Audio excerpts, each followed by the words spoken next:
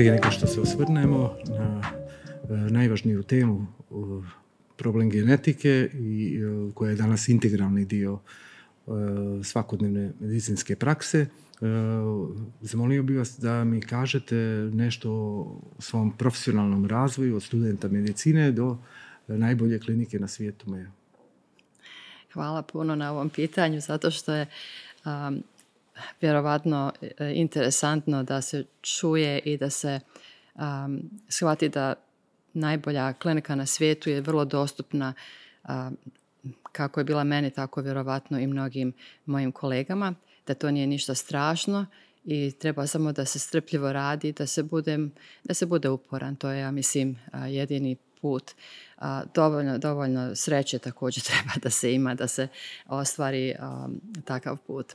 Ja sam završila fakultet u Sarajevu i tamo sam završila svoj magisterijum, specijalizaciju iz pedijatrije i endokrinologije, ali na nesreću 1992. godine su došle i tada sam se prebacila u stvari u Podgoricu i provela sam u kliničkom centru na pedijatriji jedno šest mjeseci od maja do septembra kada se i moj muž konačno priključio. On isto tako radio na klinici kao plastični hirurg.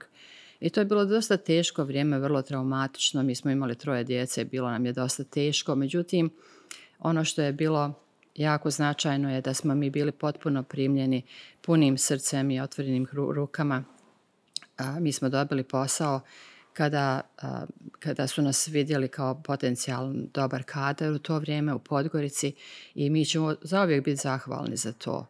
Jer bez toga vjerovatno je bilo teško da preživimo. Ne znam šta bi se desilo s našom porodicom. Nakon toga mi smo dobili mogućnost da odemo u Ameriku u septembru 1992. godine na osnovu Fulbrightove stipendije koje je moj muž dobio na klinici Johns Hopkins u Baltimoru. I mi smo tada također dobili dobili smo dozvolu od kliničkog centra da nam čuvaju mjesto, da se vratimo za sedam ili osam mjeseci koliko je stipendija trajala. Međutim, što se desilo u Baltimoru je da je Fulbright nama produžio automatski stipendiju zato što smo mi bili originalno iz Sarajeva i praktično nam nisu dali da se vratimo. Tako da smo mi bili zarobljeni u Americi ako nismo htjeli tamo da ostanemo. I tada smo shvatili da je to jedini put, da ne, ne možemo nazad, mada nam nikad to nije bio cilj da budemo u Americi. Htjeli smo se vratiti kuće. I to je tako počelo sa ovim ispitima koje smo morali položimo koji su bili dosta teški. Bilo je tu napora se nabave knjige, mi nismo imali novaca, bili smo tako dosta u, u siromašnom ovaj, okruženju ali uspjeli smo nekako to da završimo i na osnovu znanja koje smo mi u stvari stekli na, ovim, na ovim ovdje prostorima smo nekako koračali dalje i ja sam dobila specijalizaciju jer se moralo ponovo završava specijalizacija u Americi. Mene su pozvali na Mayo Clinicu i ponudili mi tu, tu taj posao. I ovaj, tako da smo ostali u Rochesteru u Minnesota do sada na Mayo klinici. Nakon što sam završila specijalizaciju, oni su me također zadržali da budem njihov konsultant, da ostanem da radim tu. I ja sam 12,5 godina čak bila department chair, dakle bila sam im, kako se to kaže, direktor, jel? I tu sam također osnovala veliki veliku grupu genetičara, dakle zaposlala sam mnoge od genetičara i imali smo puno, imamo, dovolj, imamo dosta ljudi koji su dolazili na usavršavanje, uključujući neke naše kolege iz Beograda koji su došli na nekoliko mjeseci i vraćali se zatim kući sa svim znanjem. Um, tako da to je, to je otprilike taj put. Nije bio lagan i kad gledamo unazad bilo je možda malo teže, ali kad, kad se to sve skupa dešava nije bilo drugog puta. I bilo je uvijek nekako se išlo unaprijed i išlo se uzbrdo. Od, od početka kad smo izašli iz Sarajeva do, do sada. Eto nekako još uvijek napredujemo. Klinika mi je najprestižnija klinika na svijetu. Da li nam nešto o njoj možete reći više? Pa, pa klinika Mayo ima dugačku tradiciju, oni su više od 150 godina, postoje. Klinika sama se osnovala u vrlo malom gradu Rochester, Minnesota, koje, koje i početak klinike u stvari je vezan za tornado jer tamo je bila jedna stanica vojna i na drugom dijelu tog sela u to vrijeme je bila jedna, jedna mala crkva gdje su se okupljale ove katoličke nuns, da. Dakle, on, tu, je došao je tornado i bilo je jako puno povrijeđenih ljudi i ove sve ove časne sestre. Časne sestre su zamolile braću Meo koji su radili u vojsci tada da se s njima udruže da naprave bolnicu. Tako je počela Meo klinika, tako 154 godine mislim unazad. I oni su bili vrlo vrlo otvorene ovako, imali su viziju kako bi se ta klinika mogla povećati, dovodili su strance i, i sada jako puno stranaca radi na Mayo klinici oni znaju da stranci su oni koji su odabrani jer oni, oni koji su došli do, tih, do tog nivoa nisu baš oni koji neće da rade i koji ne znaju ništa. Jel? Tako da ima jako puno stranaca i dan danas oni ovaj, to podržavaju i klinika je glavna u Rochesteru ima preko 8000 zaposlenih. Mi imamo također manje klinike u Arizoni i na Floridi a, tako da, da je to funkcioniše u kao jedna klinika. A klinika je zaista multidisciplinarna. Ono što je najveći ponos klinike je taj timski rad, jer ni jedna specijalnost ne radi izolovano. Dakle, kad pacijent dođe, ne može, ne može vidjeti samo jednog pacijenta ako ima komplikovan problem, nego jednog doktora ako ima komplikovan problem, nego se takvom pacijentu organizuje unaprijed snimanje laboratorija, pregledi na raznim mjestima, tako da sve, sve se to završi u dva ili tri dana. Imamo i puno internacionalnih pacijenata za koje je još važnije da se to efikasno uradi, da ne moraju da čekaju ili da, da produžavaju boravak i plaćaju skupu cijenu karata i da mijenjaju karte i da ostaju duže po hotelima i tako dalje. Ali klinika je, kažem, vrlo organizovana, ogromna je, mislim, po, po količini, količini ljekara, medicinskih sestara ovih svih specijalnosti. Također imamo medicinski fakultet, imamo, imamo specijalizacije u skoro svakoj medicinskoj areji. Da li nam može, možete približiti e, značaj e, savremene dostignuća i izazove savremene genetske medicine?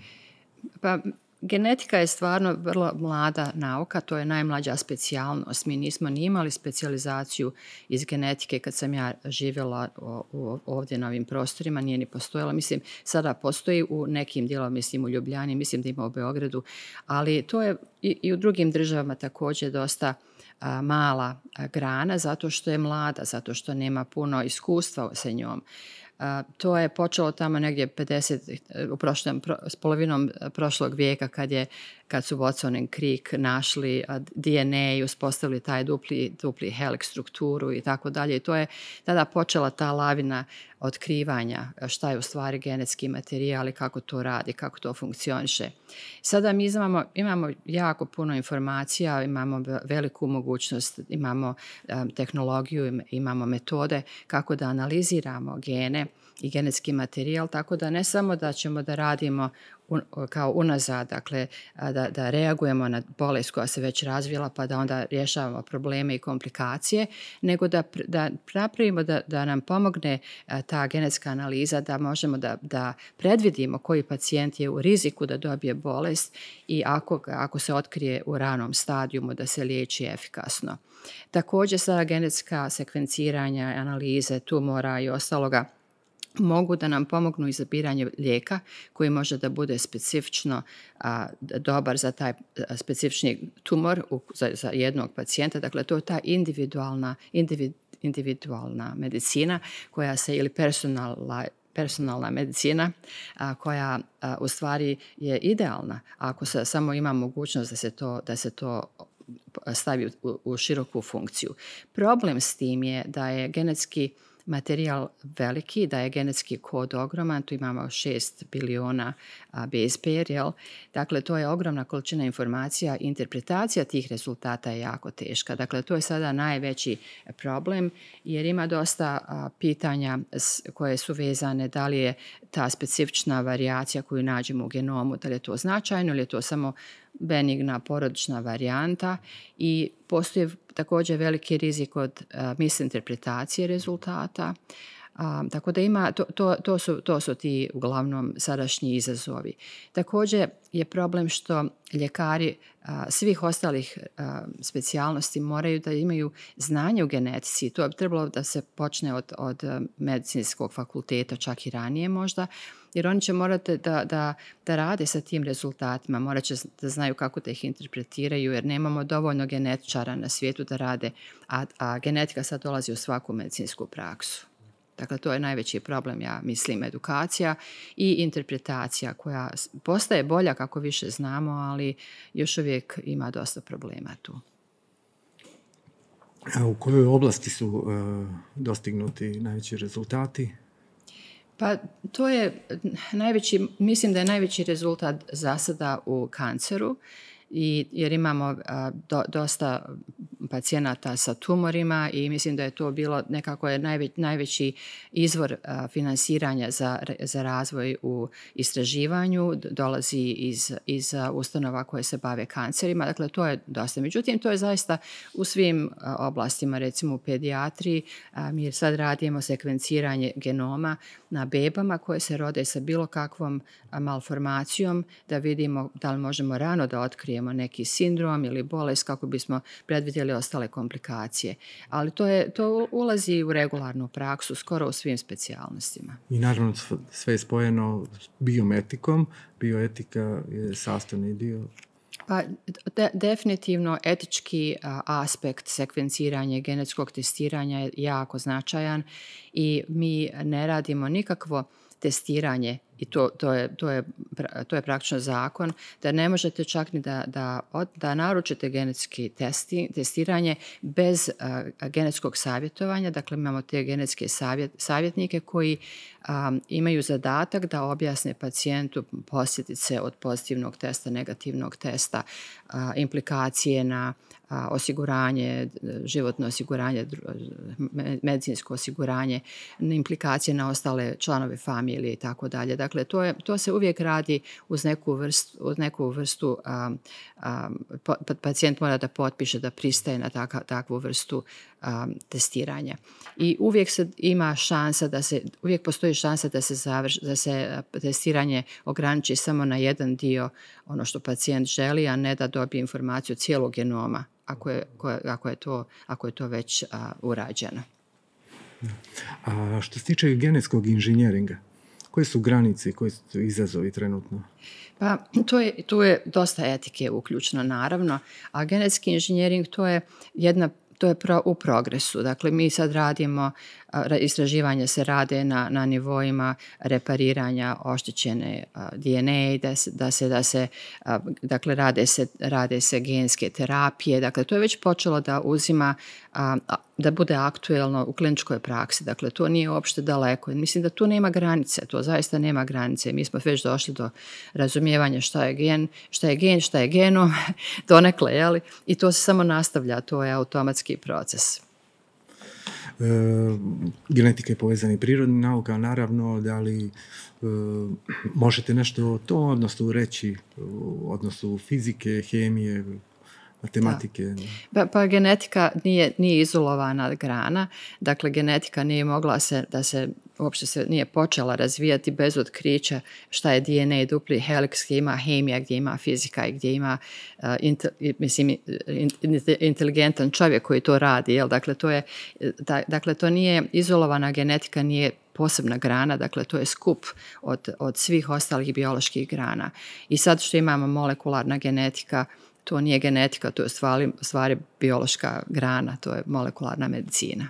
Dakle, to je sve skupa jedan, opet timski rad. Ima tu dosta evolucije jer na početku moje karijere kad, smo, kad nismo čak imali ni nikakve genetske testove, u principu smo imali samo hromozomske testove, bilo je dosta otpora da se novi testovi uvedu i da se distribuišu u širokoj populaciji, upravo zbog tih problema i razmišljanja o etičnosti genetskog testiranja, da, da li pacijent treba da zna, da li, to, da li je, da li je da li postoji mogućnost da neko zloupotrebi DNA, DNA koje je negdje u nekom skladištu ili u laboratoriji, da li to neko krade podatke. Mislim, tu uvijek imate te, te, ta razmišljanja, uvijek postoji taj, taj problem, ljudi su malo skeptični oko toga.